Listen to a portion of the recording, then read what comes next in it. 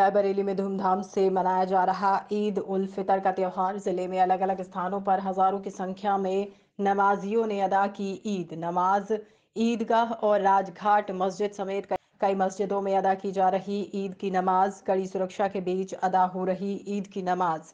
CCTV और drone कैमरे से की जा रही निगरानी। नमाज़ के बाद लोग गले मिलकर दे रहे एक दूसरे को ईद मुबारक की बधाई।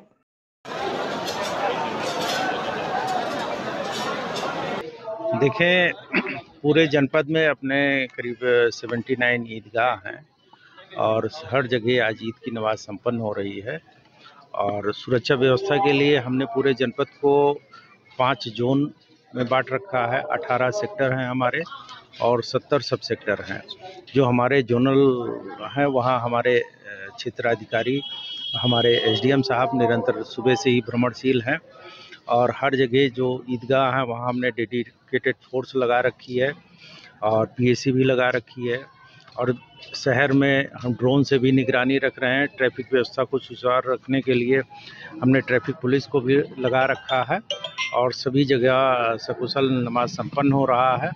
जो संवेदनशील क्षेत्र हैं, वहाँ हम सतर्क दृष्टि रखे हुए हैं। इसके अतिरिक्त तो आदर्श आचार चुनाव संहिता जनपद में लागू है। लोकसभा के चुनाव के मद्देनज़र ये भी ध्यान में रखा जा रहा है कि कहीं इसका उल्लंघन ना होने पाए और हम लोग विजिलेंट हैं, निरंतर भ्रमणशील हैं।